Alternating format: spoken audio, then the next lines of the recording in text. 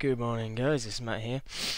Um, I've had a suggestion from a guy called Rough Moves who wanted to see how I built a map rollout in this video I made here called The Value Engineers. I'm just going to quickly play that.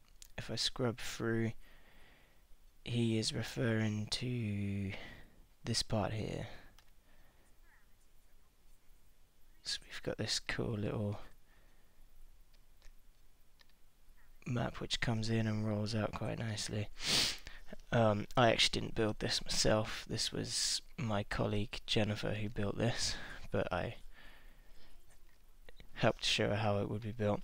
So I'm going to quickly show you how to set this up in Illustrator. So if we go into Illustrator, I've made a quick mock-up. This is an awful map drawing, you guys can spend more on the illustration. So basically, all there is is this page curl where if I turn these off you've got this bit which will be the nice flick when it comes over to this end of the page. And then we've got a circle at the bottom a circle at the top nice bit of square which connects it all and this little squiggly spiral which will make it look like it's rolling. For the map itself I'll show you how I built that quickly if I go back so it's just a square with some artwork. Then if you select it all and if you go to effect warp and then there is flag and you want to set this to something quite low like 5% which is what I figured looked quite nice. You get this nice little wave. If you click OK and that's all there is to the Illustrator file. Really simple stuff. Oh yeah with the page curl quickly. I'm just gonna attach it here. So when we roll this it'll be attached and then we can end it over there. Um, so if I save that document quickly let's go into After Effects. Um, I've already got it open here so let's just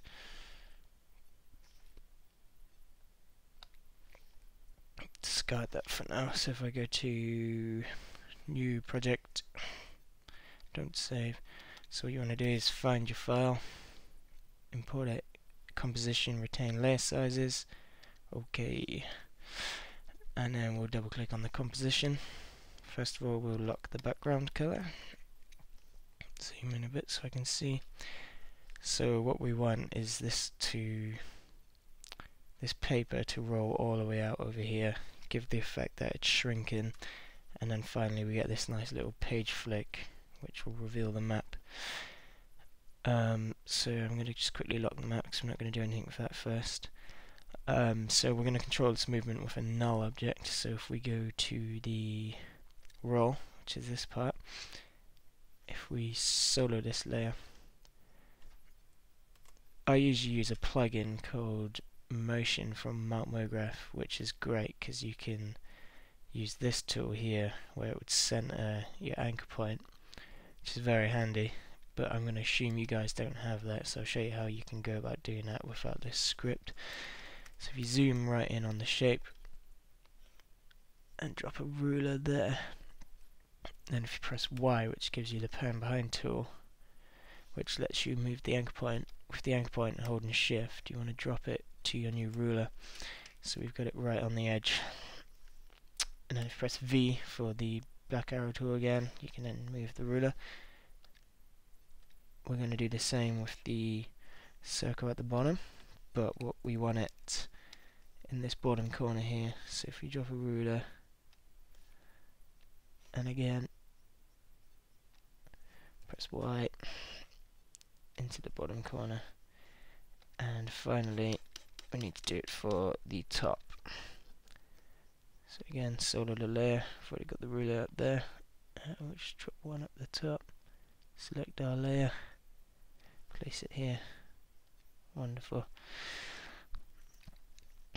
so now with the black arrow tool, V, we'll just quickly clean up, get rid of these rulers.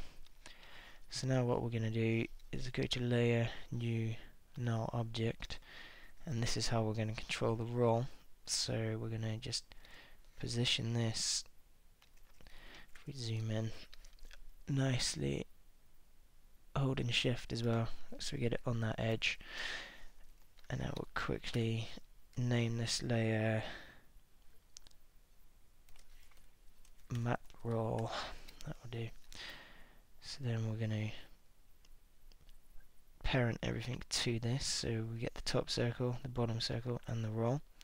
Parent it to the map roll this little spiral here we're going to parent it to the bottom circle and the page curl will be parented to the map roll as well. We're just going to lock and turn the page curl off for now because we don't need to see it. So what we're going to do now is with the map roll we are going to press P for position. If we right click on it and click separate dimensions first of all we're going to animate the right to left movement. So if we set a keyframe and then come forward say 20 frames. Just something here. If we hit position keyframe and then we'll just roll it out to the end of the map which is roughly there. And then what we can do is come into the graph editor. If you select these little buttons here we can make an ease out and an ease in but we want it to go slow to fast so we're gonna slightly arc this curve adjust it so something like that and then you can do a quick little preview to see how it's feeling. So if we click preview I should have pressed N here which will then crop our timeline preview area. So if we do that we can get a feel for how it's rolling out quite a nice movement. I'm quite happy with that. So I want it nice and slow to a nice fast stop as if it's been flicked out. Maybe we can just make that a little bit more aggressive.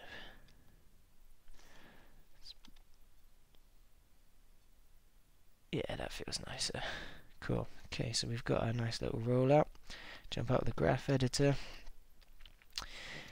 um, next thing we're going to do is the spiral. We're going to right click on this layer go create shapes and vector layer reposition it back where it is and delete the old one. And then to give this a sense of it unrolling we're going to go to add trim paths. And then if we animate the end position so if we start here bearing in mind we need to change to the flick so about here we'll animate the end position to zero.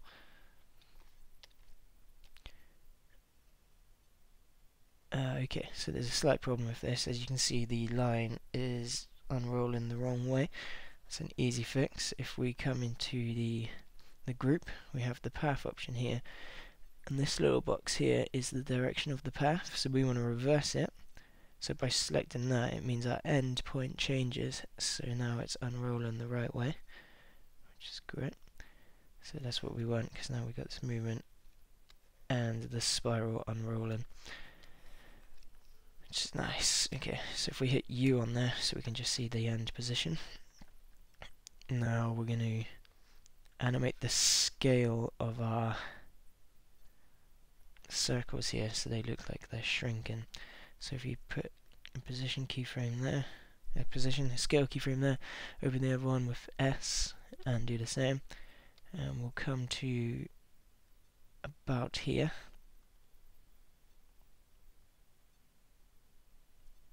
Yep, that would be nice, and then we'll knock it to about 20%.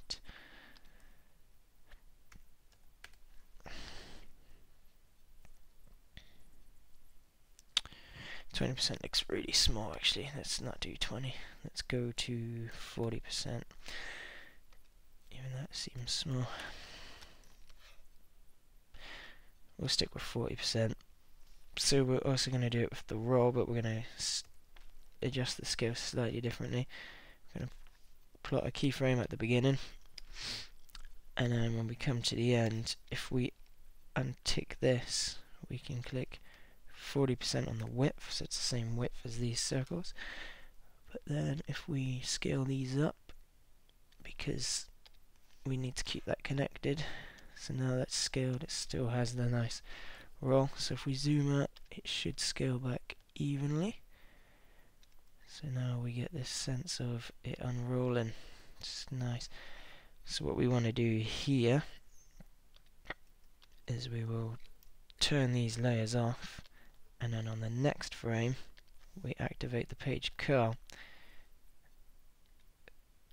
Oh yeah, to crop the layers if you hold Alt and press the bracket. So the open bracket will cut it there. And on these ones if I click the close bracket it ends it. So obviously I wanted that one to end there.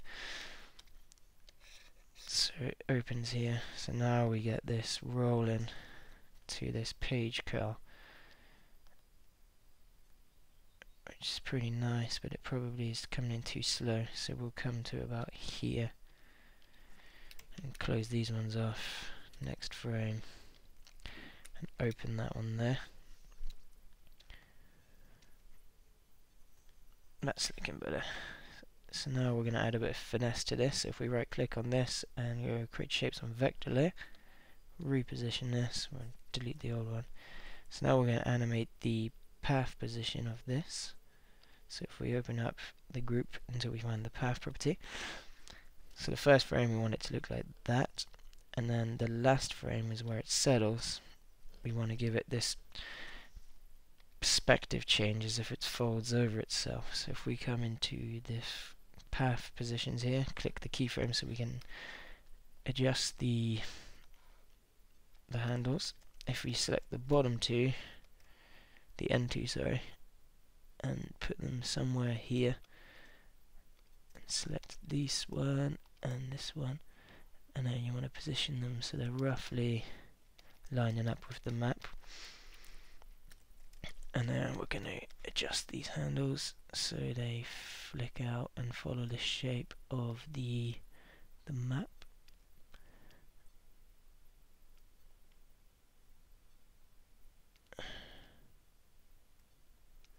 So we have something like that.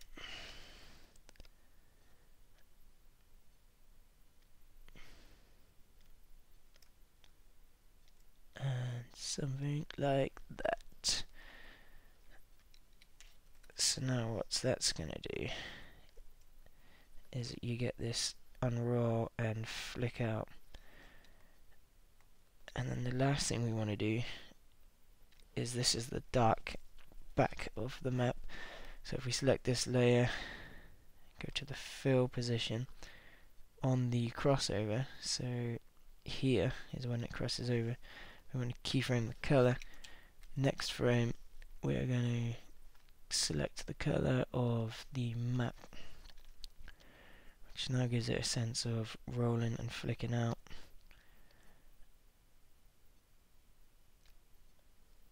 which is cool and actually what I've noticed is if I select these end nulls nulls handles we want it to end in line with the edge of the map. Something like that. Doesn't matter if it's rough, because what we're going to do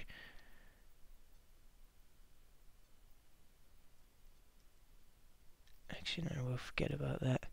What we'll do is just make this the last frame where you can visibly see this. So it will roll out, flick, and turn off revealing our map. So we've got this roll and flick so far, which is pretty nice.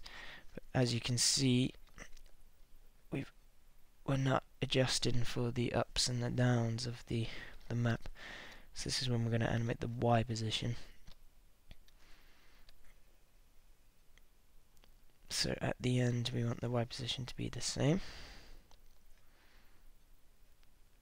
And then at the beginning we probably need it to be oh no that's fine. So we'll come here. Roll it up so it looks roughly connected to the map here back down.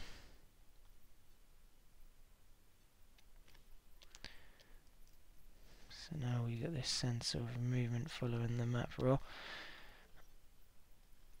We could probably just add some nice ease into that if you press F9 or just do some basic easy easing which just make it seem a bit smoother which is quite nice. So finally what we're going to do now so we unlock our map and we will go holding command. You click on the map. Go to mask new mask. Open up the mask properties, select the keyframe on the path, hit U to close that, and then right at the end, we obviously want, so on this same frame here, we want our mask to be fully exposed. At the beginning, we'll select these keyframes.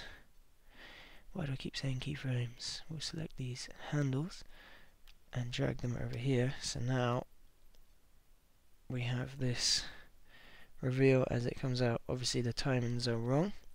So if we open up the editor, we'll just adjust this.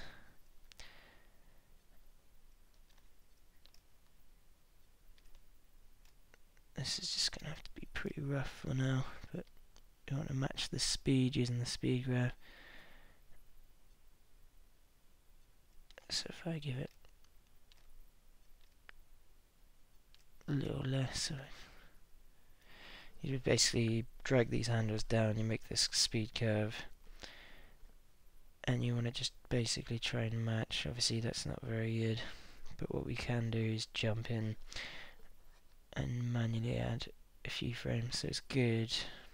Not so good actually. Let's try that. So it's good to about here, and we'll jump out, put in a new keyframe. And then for the end flick, let's just see if we can't adjust this a bit.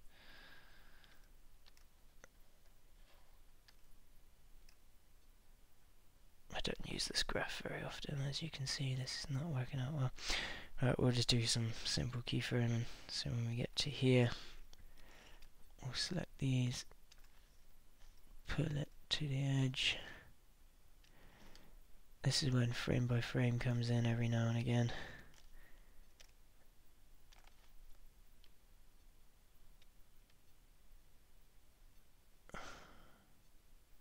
So we want this to turn off a frame earlier. So now we've got this roll and flick.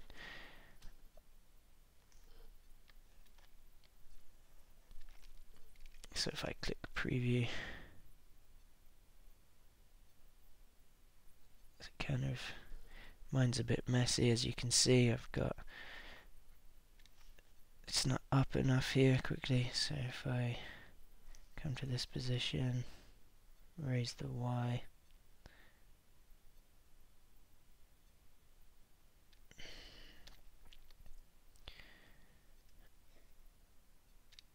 Okay, it looks like our circles are going to need to be animated as well. So if I select the bottom one, hit the position, now we'll come to the end because the bottom was in a nice place. Hit position again, just down here. And again at the start. And then at this little point here,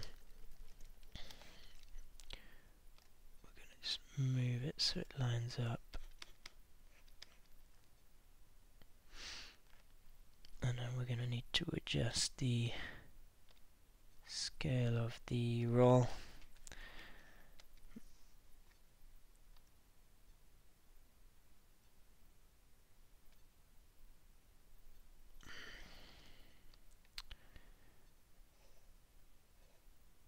Okay, I'm going to quickly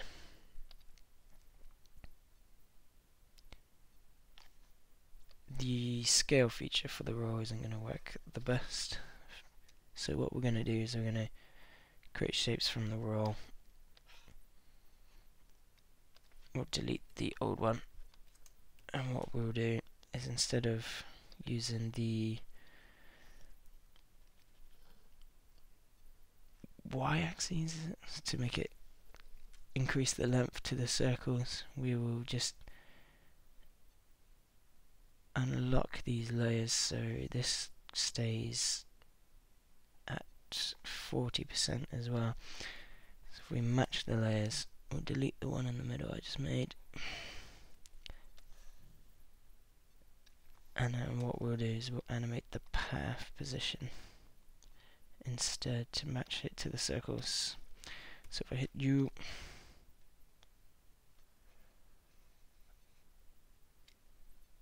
I'm going to have to extend this out.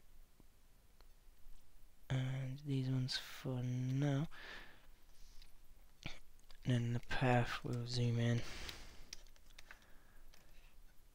And just connect the path like so.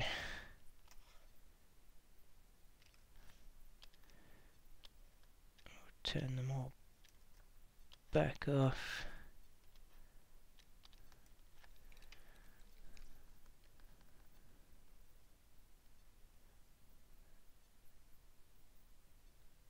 And then we're going to have to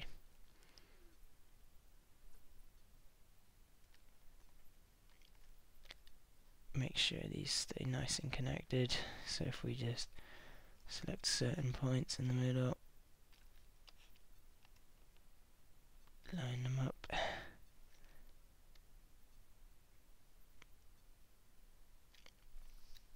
Add another one in here.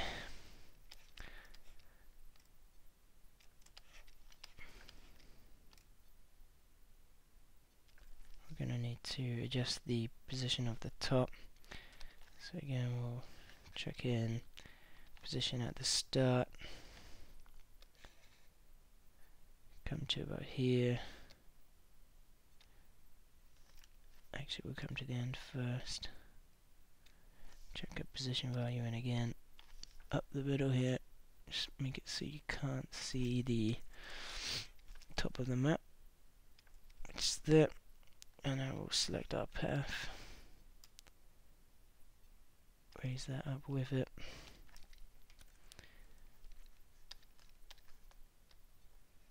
So there we go. We have this kind of nice rollout. There's a slight little overlap around here on the mask. So if I just check in one more keyframe and we'll just position it in the center there.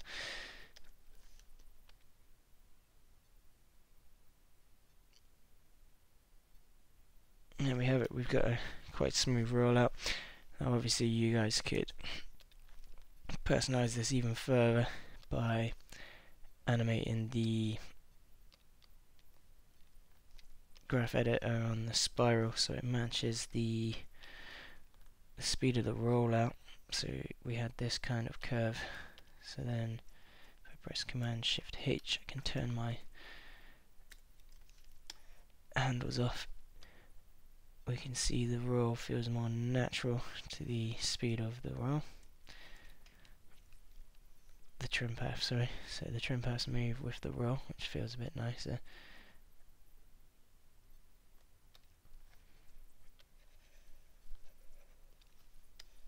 So yeah, this is basically quite simple stuff. It's using a position value to move several layers which are on top of a map which are then revealing the map with a mask. And then we turn the layers off to change the shape to get this nice flick. Because this is still attached to the initial null, then this continues to move. We're changing the path ever so slightly, changing the fill color, so it makes this nice flick. Easy stuff. So yeah, like I said, this tutorial was suggested because Rough Moves had watched my videos and he was interested to see how I did this rollout, which is great because then it gives me an idea of how to make a tutorial for what you guys are interested in. So if you have any other suggestions, anybody at all, drop me an email at tutorials at mattwilsondesigns.co.uk and I'll happily spend some time to put together a tutorial for you. That's about it for today. Um, I'm going to do another one because he was interested to see if I find my where is it? There it is. He was interested to also find out how we animated this book opening. So it comes in flies open. Again this is really simple but if you don't know how to do it then a quick tutorial will teach you some workflow and then you'll be able to use it in your everyday. So I'm going to do another one on this this passport opening to end this little series of suggestions from Rough Moves. But I've uploaded, if you go on my YouTube, I recently uploaded professional works, which I'm going to be uploading all my commercial projects. But at the minute we have my show reel here, if you watch that and there's anything you'd like to see how it's built, then drop me an email and I'll help you. I'll help build a tutorial so you guys can work that out. Um, anyways, I've probably been a bit mumbly this morning. It's before 9 in the morning, just about to start work now, so I'm going to have to call it a day. But if you've liked what you've seen, sign up, subscribe to my channel, drop me a comment, and share with your friends. Uh, cheers, guys. Have a nice day.